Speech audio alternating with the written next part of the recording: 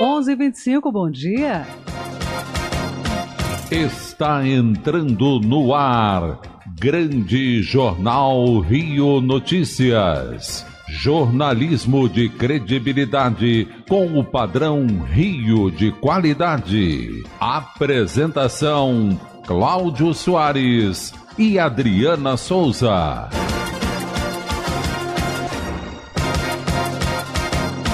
Olá, hoje é quarta-feira, dia 18 de julho de 2018. E hoje é o Dia Nacional do Trovador. E neste mesmo dia, em 1918, há 100 anos, nasceu o ex-presidente da África do Sul, Nelson Mandela. Estes são os destaques desta quarta-feira. Manchetes. Ponte Rio-Niterói terá interdições até dezembro. Prefeito Marcelo Crivella regulamenta a lei que obriga estabelecimentos a oferecerem canudos de material reciclável ou biodegradável no Rio de Janeiro. Novo leilão de petróleo da União é marcado para o final de agosto. Anvisa aprova a regulamentação de suplementos alimentares. Onda de calor atinge o Japão durante o fim de semana prolongado. Espanha supera Itália em chegadas de imigrantes após cruzar o mar Mediterrâneo. Grande Jornal Rio Notícias. Locais. A Secretaria de Ambiente, Agricultura, Abastecimento e Pesca de Araruama acaba de inaugurar a Clínica Animal, localizada no bairro da Fazendinha. O espaço reúne consultórios veterinários e centro cirúrgico, além de também contar com o canil.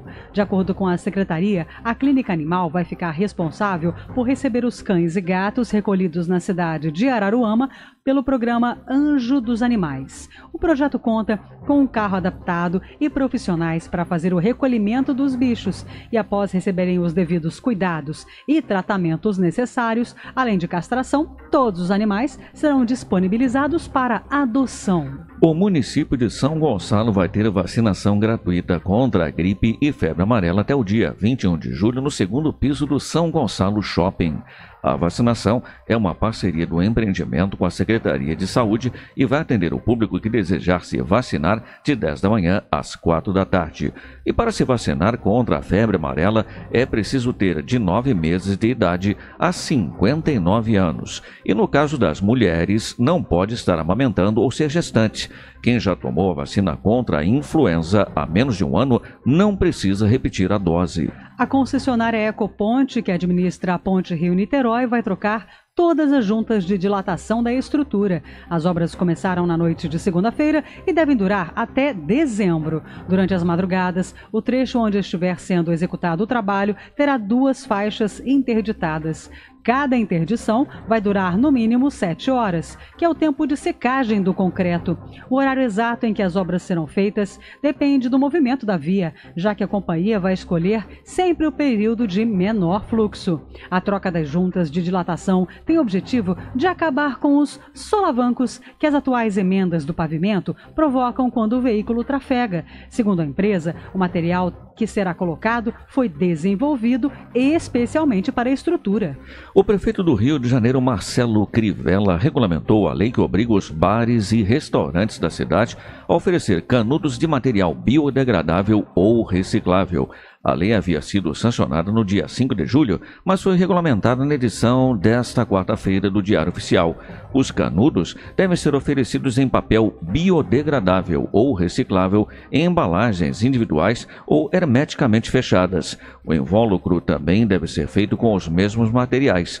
Esses canudos devem ser feitos sem o uso de matérias-primas que possuam em sua composição elementos contaminantes, sejam químicos ou biológicos. Quem descumprir a medida estará sujeito a uma multa de 3 mil reais e, em caso de reincidência, as multas passam a ser de 6 mil reais. 11:29 Cultura e lazer. Olá, Jade Marinho. Ô Jade, quais são as novidades do Cultura e Lazer de hoje? O Museu de Astronomia e Ciência Afins preparou para a criançada neste período de férias experimentos científicos, oficinas e exposições. Tudo isso de graça. Nesta quinta, das 9 da manhã às 4 da tarde, o museu recebe os visitantes para que possam conhecer os conceitos básicos de astronomia de uma maneira divertida e lúdica. Entre os destaques da programação está a oficina de lançamento de foguetes, o planetário digi digital inflável e a observação do Sol. O museu fica na Rua General Bruce, número 586, em São Cristóvão. Depois de lotar a primeira temporada, o musical A Vida Não É um Musical volta a ocupar os palcos do Teatro SESI. O espetáculo reestreia nesta quinta-feira, às sete da noite. A montagem satiriza o universo dos contos de fadas da Disney e o atual cenário político, fazendo um recorte crítico e bem-humorado da atualidade. O Teatro SESI se localiza na Avenida Graça Aranha, número 1, no centro. O Museu de Arte do Rio está com a exposição fixa O Rio do Samba, Resistência e Reinvenção. A exposição propõe um, um, percurso pela história social do samba, da diáspora africana à atualidade do samba carioca. A perspectiva da resistência e da reinvenção cultural atravessa uma amostra apresentando a potência do samba como fenômeno social e estético. O museu funciona de 10 da manhã às 5 da tarde e se localiza na Praça Mauá, número 5, no centro. A, cinema, a Cinemateca do Museu de Arte Moderna, no Rio, recebe a segunda edição do Festival Experimental Carioca de Realizações Audiovisuais, que apresenta uma programação gratuita com exibições de filmes experimentais e debates até o dia 22 de julho estão no programa 36 filmes de 18 países que vão ser transmitidos para o público de uma da tarde até às 8 da noite. O Museu de Arte Moderna fica na Avenida Infante Dom Henrique, número 85, no Parque do Flamengo. Essas foram as novidades do Cultura e Lazer de hoje. Eu volto amanhã com muito mais. Até amanhã, Jade Marinho. Até amanhã, Jade. Previsão do tempo. Rio e Niterói com céu claro, temperatura estável, umidade relativa no ar 90%. Para amanhã, a previsão é de céu claro. Agora aqui na Ilha do Governador, 28 graus. Grande Jornal Rio Notícias Nacionais. Após o recesso parlamentar que se inicia nesta quarta-feira, a Câmara dos Deputados e o Senado vão reduzir o número de sessões de votação no segundo semestre, porque deputados e senadores vão se dedicar à campanha eleitoral nos estados. O recesso do Congresso Nacional começa oficialmente nesta quarta e vai até o próximo dia 31, mas na prática, a última sessão deliberativa foi na quarta-feira da semana passada. O cronograma de votações nos plenários da Câmara e do Senado no segundo semestre ainda não foi divulgado, mas um calendário prévio já foi enviado às assessorias parlamentares. O financiamento de veículos zero quilômetro cresceu 14,7% no primeiro semestre desse ano, mantendo a tendência de 2017. E no ano passado, as vendas a prazo de carros, motos, caminhões e ônibus tiveram uma alta pela primeira vez em sete anos. De janeiro a junho últimos foram financiados 969 mil veículos zero, segundo dados da B3. A empresa opera a base integrada de dados que reúne o cadastro das restrições financeiras de veículos oferecidos como garantia em operações de crédito. E o destaque foram os pesados, com alta de 57,6% sobre o primeiro semestre de 2017, totalizando assim 42.240 unidades vendidas a prazo. O grupo Pré-Sal Petróleo, responsável por representar os interesses da União nos contratos de partilha, vai entrar em 31 de agosto um novo leilão, ou melhor, vai realizar em 31 de agosto um novo leilão de petróleo da União na Bolsa Paulista B3. A informação foi confirmada pela empresa após não ter conseguido vender volumes em um certame anterior em maio. Serão ofertados no próximo leilão 3 milhões de barris de petróleo oriundos da área de desenvolvimento de Mero e dos campos de Lula e Sapinhoá, todos na Bacia de Santos.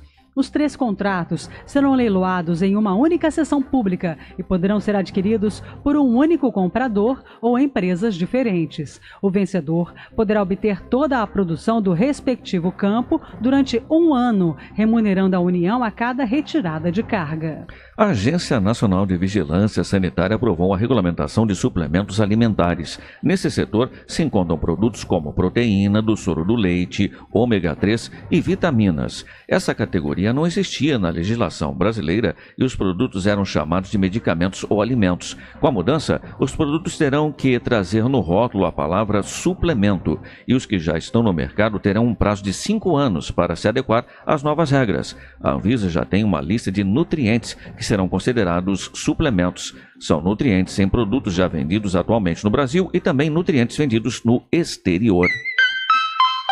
Agora 11h35. Ciência e tecnologia. Tecnologia.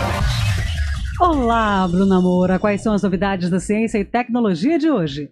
Olá, Adriana! Alguns usuários do aplicativo de mensagens instantâneas, o WhatsApp, revelaram estar com problemas no mecanismo chamado visto por último.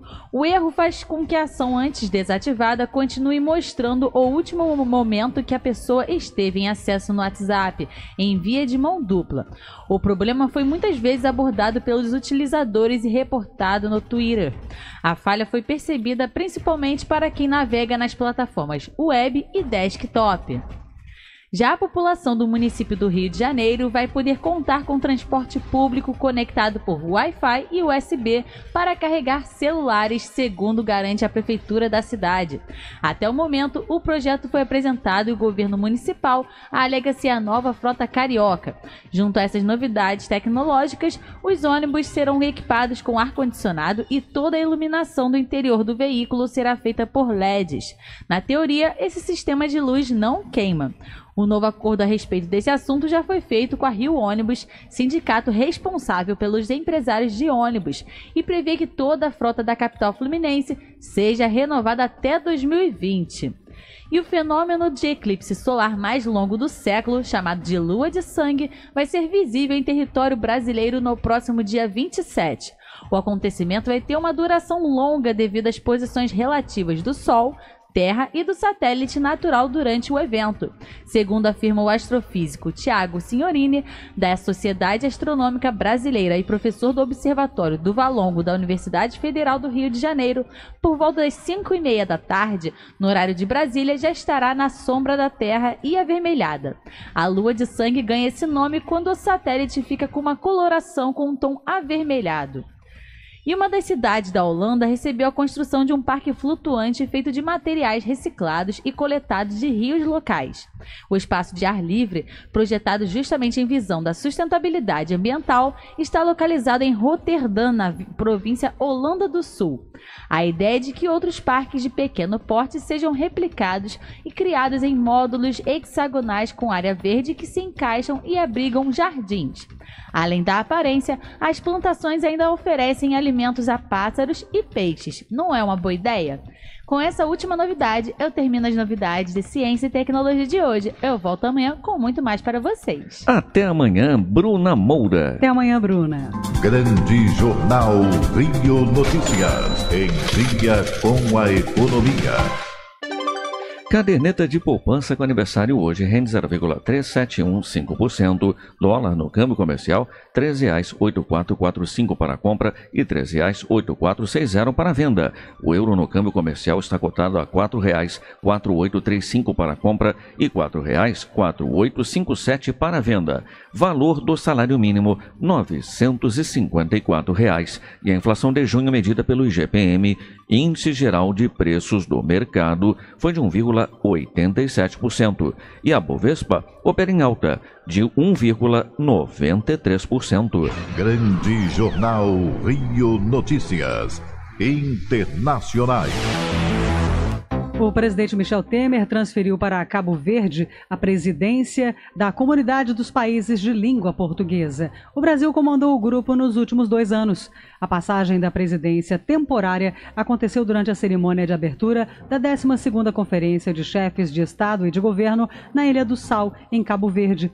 O encontro termina nesta quarta, quando Temer vai retornar ao Brasil. Criada em 1996, a comunidade reúne Brasil, Angola, Cabo Verde, Guiné-Bissau, Guiné Equatorial, Moçambique, Portugal, são Tomé e Príncipe e Timor-Leste. O grupo tem entre os objetivos reforçar a diplomacia e cooperação entre os integrantes e difundir a língua portuguesa. Um juiz federal norte-americano apresentou o voto contrário à organização de controle de natalidade que tentaram impedir o governo Donald Trump de mudar um programa federal de subvenções para o planejamento familiar para priorizar grupos de orientação religiosa e que aconselham a abstinência. Em maio, três organizações de planejamento familiar questionando diretrizes do Departamento de Saúde e Serviços Humanos emitidas em fevereiro.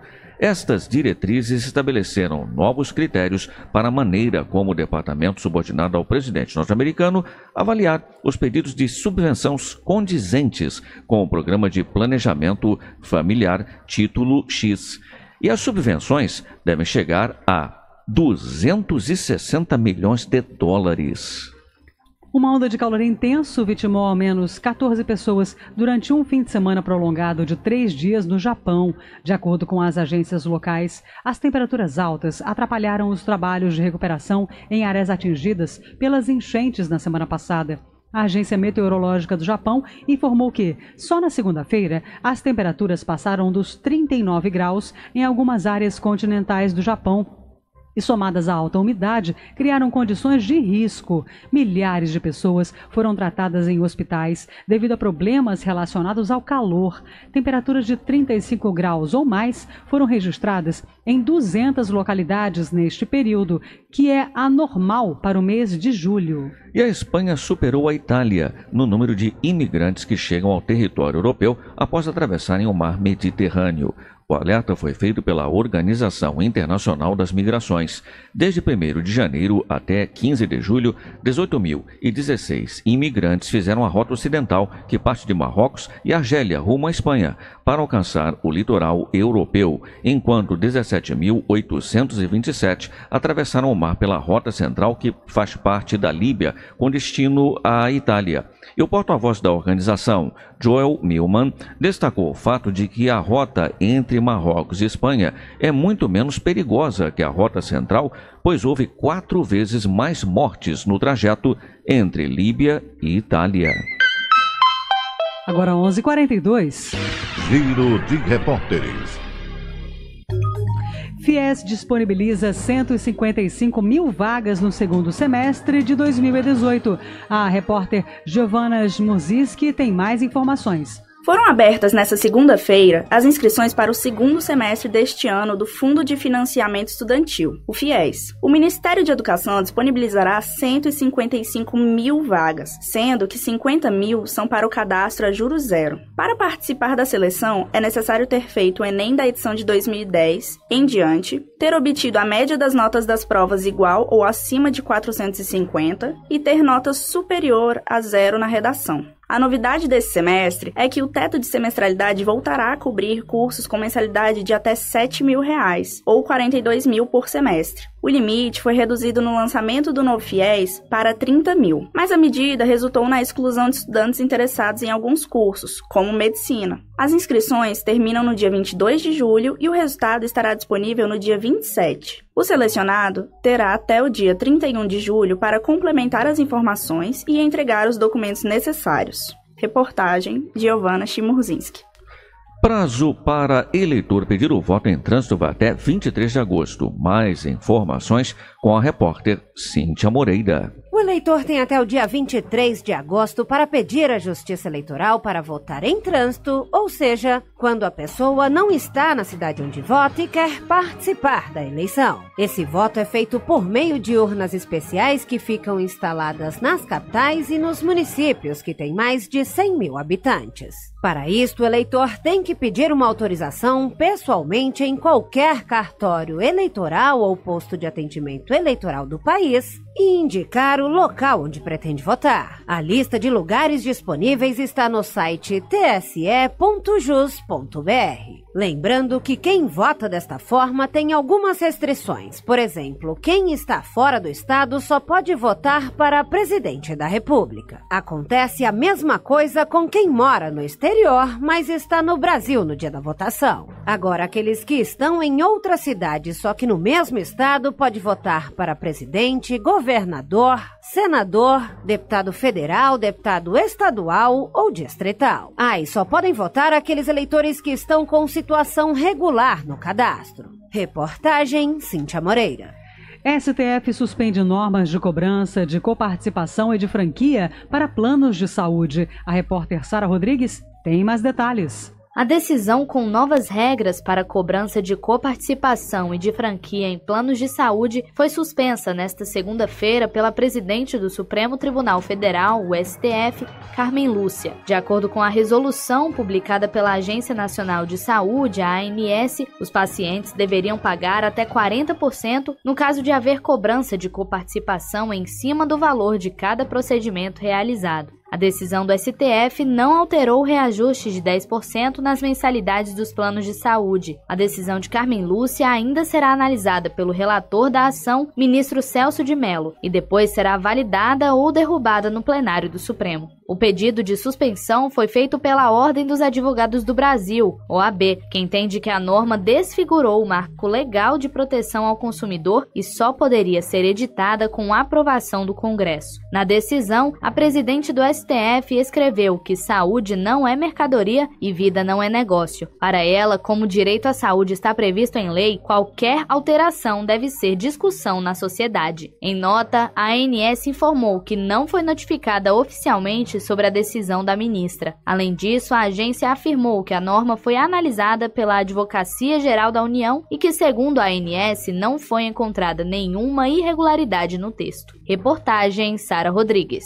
Receita disponibiliza pagamento do segundo lote de restituição do imposto de renda. Mais detalhes com o repórter Paulo Henrique Gomes. O segundo lote de restituições do imposto de renda está disponível para saque a partir desta segunda-feira. Nesta etapa, 3.360.919 contribuintes serão contemplados e a liberação total será de 5 bilhões de reais. A restituição do IRPF 2018 virá corrigida de acordo com a variação da taxa básica de juros, a Selic, de maio a julho deste ano, que ficou em 2,04%. Neste lote também serão incluídas devoluções residuais dos exercícios de 2008 a 2017. Nestes casos, as devoluções serão pagas com correções que variam de 2,04% a 104,16%, dependendo do ano. O contribuinte que deseja saber se teve sua declaração liberada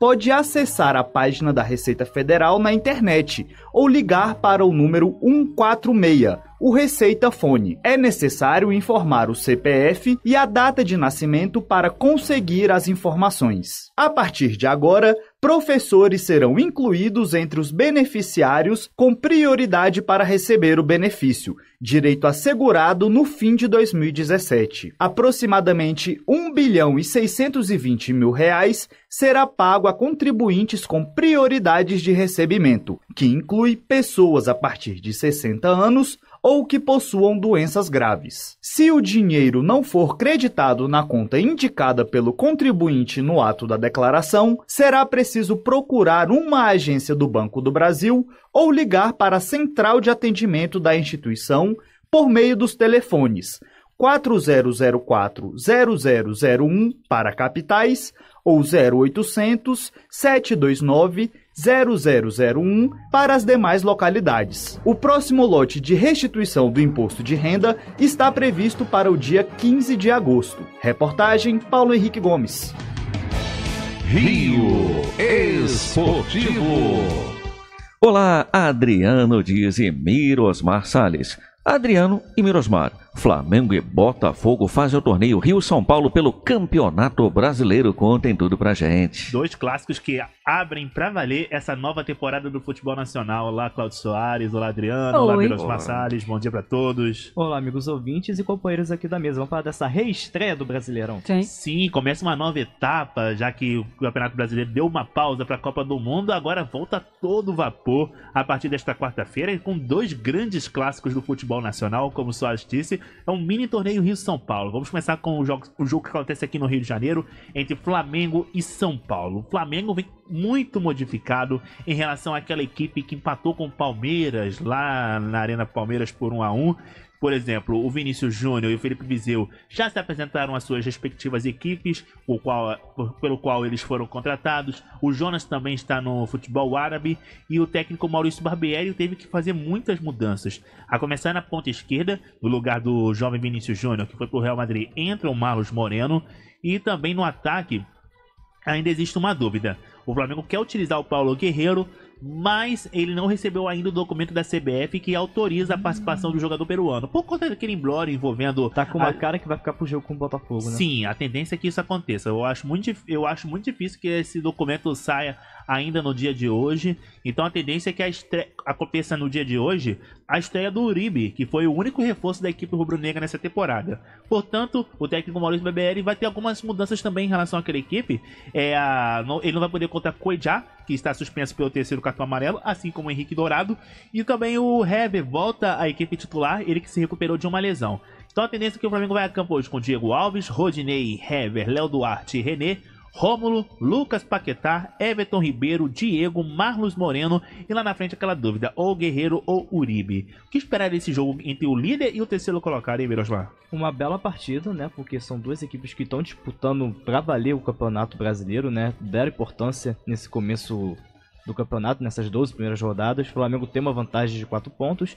E a torcida vai junto comparecer. Até o Flamengo tá conseguindo deixar o Maracanã e o arredor do Maracanã com a sua cara, né? Sim. E hoje saiu imagens divulgadas pelo Flamengo e também da Supervia, né? Da estação do Maracanã, toda personalizada de rubro-negro, né? Pra deixar um pouco mais a- com a cara do time do Flamengo. Como também o estádio, né? Com a- o vestiário e também estão com outros planejamentos de deixar o Maracanã mais rubro-negro possível. É para justificar também o contrato que a equipe rubro-negra fez com um consórcio que administra o estádio de três anos. O Flamengo que vai ainda, em relação ao Maracanã, retirar parte das cadeiras para montar uma mini geral para tentar Atrás do gol, né? É, exatamente, atrás do gol para tentar elevar a, o número de torcedores no Maracanã. Em relação ao time, aliás, falou do Casa Cheia, já saiu uma nova parcial agora sobre as vendas para o jogo desta noite. Já foram vendidos 45 mil ingressos. Então, o Flamengo vai voltar para o Brasileirão, tendo essa responsabilidade de jogar contra um time forte que está lá na ponta, como você disse, e com a torcida toda a seu favor. E o Flamengo tem uma grande oportunidade de abrir uma vantagem nessas duas partidas, pois depois do jogo com o Bota- do São Paulo faz o clássico com o Botafogo também no Maracanã. E as equipes que estão embaixo, Grêmio, Palmeiras, São Paulo, Atlético, elas se enfrentam. Então a tendência é que o Flamengo se conseguir os seis pontos, se tudo caminhar é, conforme estiver no paraíso, podemos dizer assim, o Flamengo abre uma, ainda, amplia ainda mais essa vantagem. Pode chegar numa melhor hipótese a 10 pontos, né? Sim, sim. Falando em Botafogo, Botafogo entra em campo também na noite de hoje. O Botafogo vai até a Arena Corinthians enfrentar a equipe o Alvinegro do Parque São Jorge às 9h45 da noite. Para essa partida, a mudança já, já começa no banco de reservas. Muitos botafoguenses que por acaso resolveram esquecer o Campeonato Brasileiro e focar em Copa do Mundo não souberam da saída do Alberto Valentim para o futebol árabe e o Marcos Paquetá assumindo a função de treinador da equipe alvinegra. Mas, a princípio, ele vai manter a mesma base deixada pelo técnico que levou o Botafogo ao título estadual. As únicas mudanças são no meio-campo, mais por questões contratuais. É, muitos Que- jogadores do Corinthians, Sim, né? O- Botafogo. Exatamente, é o caso do Moisés, do Jean e do Iago. Todos eles pertencem à equipe paulista, então com isso eles não vão entrar em campo. Além do Gatito Fernandes, que se, que se recuperando da contusão do punho, o Marcos Vinícius também está nesse processo de transição da, do departamento médico para, o gramado, para os gramados. O Marcinho, que ainda se recupera de uma virose. O João Paulo também segue como desfalque. Então a tendência é que o Botafogo vai a campo hoje com Jefferson, Luiz Ricardo, Roel Carli, Igor Rabelo e Gilson, Matheus Fernandes, Rodrigo Lindoso e Léo Valência. E o trio formado por Rodrigo Pimpão, Aguirre e Chiesa. A vantagem do Botafogo é que a equipe do Corinthians também está muito desfigurada em relação àquela que deu a pausa para a Copa do Mundo. Muitos jogadores da equipe titular saíram, que é o caso também do lateral Maicon, o, também saiu o Maicon, saiu o Sid Clay e Sid o, Clay que vinha fazendo ótimas atuações. e o zagueiro Balbuena. Então isso favorece um pouquinho para a equipe do Botafogo, mesmo jogando lá no Corinthians. O que, que É. você acha, Mirosmar? Na verdade, o Botafogo vai ter que se entrosar com o treinador, porque alguns jogadores ao longo da semana falaram que tá tentando entender a nova ideia, a nova filosofia de trabalho do Parquetá, né, o treinador do Botafogo. E o que acontece também, você chamando a atenção que o Marcinho tá com uma virose e não vai jogar, é que ele tava testando nos treinamentos o Marcinho numa posição diferente. Ele quer lateral tá tentando botar ele na função do Pimpão, como atacante de ponta. Isso, ele, é, geralmente os atacantes, eles têm essa facilidade, principalmente os jogadores com essa característica como o Massinho. O Massinho que renovou o contrato com o Botafogo, vai até 2022 agora. Garoto da base do Botafogo. Sim, ele já vem treinando isso, ele já foi testado isso nas categorias de base em algumas oportunidades. Agora ele pode ser ver se funciona isso na equipe titular. O que tende a ser sucesso, pois é um jogador jovem e ajudaria também na recomposição no sistema defensivo. Isso eu já fico um pouco pé atrás, porque ele, como lateral, já é muito ofensivo e de vez em quando deixa uma avenida, né? Como a gente fala no futebol. Mas vai ter um outro, mas vai ter o Luiz Ricardo com É, a sua sombra. Pode ajudar, talvez. Talvez que faça até uma função até melhor que o Pipão lá ao longo do jogo, né? Se for testado mesmo realmente. Que o Paquetá treinou isso no- é, na parte do física, treinamento, quando chegou no Newton Santos. Porém, como ele tá com uma virose, não joga essa partida, né? E o Botafogo, é, exatamente, o Botafogo, o Mirosmar, tem que estar muito atento também, pois, tem, pois possui muitos jogadores é, que estão pendurados. E Sim. eles podem ser desfalques para um jogo importantíssimo com o Flamengo. O Botafogo que tenta chegar nas primeiras posições ainda. É nono, nono colocado, né? Isso, não colocado no campeonato, precisa vencer para tentar encostar. Por é, são os casos do Luiz Fernando, que está pendurado com o terceiro cartão amarelo. Também é o caso do zagueiro. Deixa eu confirmar aqui a escalação. Ah, sim. O atacante Rodrigo Pimpão, o meia Rodrigo Lindoso e Luiz Fernando, o Marcinho, que a gente citou aqui, que deve jogar contra o Flamengo, e o Gustavo Bochecha também, que está no banco de reservas, mas muitas vezes era utilizado pelo Alberto Valentim. Acredito que isso continue dando o comando do Marcos Paquetá. Então, agora o Botafogo tem que pensar muito nesse jogo com cautela, porque o Corinthians joga em casa, vai ter aquele apoio da torcida corintiana, estádio com casa cheia. É um jogo essencial para dar ânimo pro clássico de sábado e ver que o Botafogo vai apresentar de novo, né? Porque mudou o treinador. Isso, além dessas duas partidas entre Flamengo e São Paulo e Corinthians e Botafogo, outros cinco, outros três confrontos movimentam a noite de hoje. Teremos às sete e meia o confronto nordestino entre Ceará e Esporte lá no estádio Presidente Vargas. Às nove da noite no Barradão, o Vitória recebe o Paraná.